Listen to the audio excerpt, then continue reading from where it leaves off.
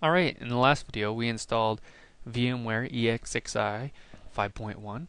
So in this video we're going to go ahead and insta install the client side so we can actually put VMs on the server. So go ahead and go to my desktop here. I already downloaded the the file so all we got to do is execute it. There we go.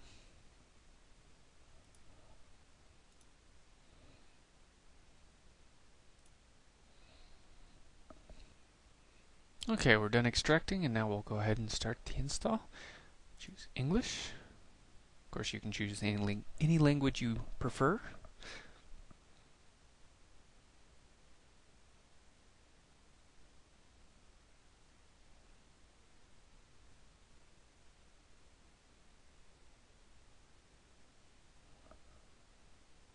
Alright, next, next.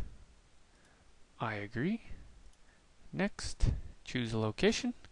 I'm going to leave the default. Click Next and install.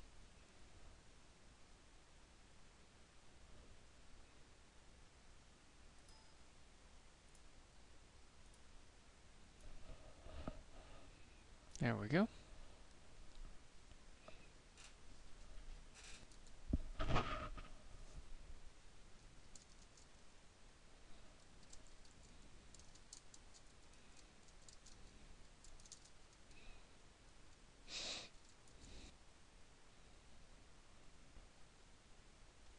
Alright, here we are, it's finished.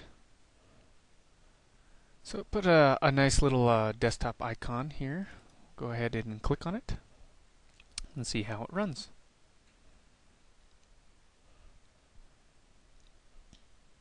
Alright, looks like everything's running okay.